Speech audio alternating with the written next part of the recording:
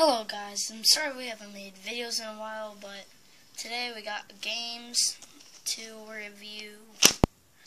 Okay, so first let's start out with the first game. I got Dead Rising 2 and I played a little bit of it. It's pretty fun and I like how you can craft your own weapons to survive. Like, I think it's like 24 days or something. Dead Rising 2. Now we got Killzone 2. I love the Killzone franchise, really. I've played a lot of them.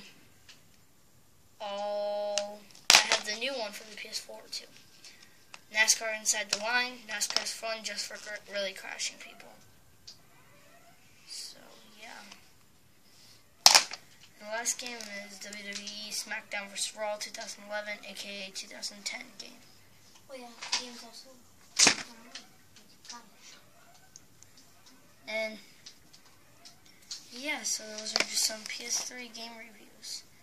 And I will be doing uh, Payday 2 gameplay and um, my Pokemon review. So peace out, guys, and Major League Dorito out.